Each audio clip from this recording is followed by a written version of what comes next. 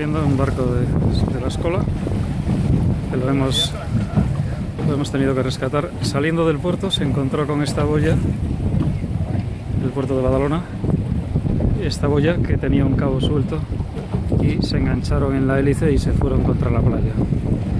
Eh, os digo, estar muy atentos. Bueno, al, al grupo que, que, iban no les volverá a pasar esto en la vida y, y estamos poniendo este vídeo para que también lo tengáis en cuenta todos vosotros.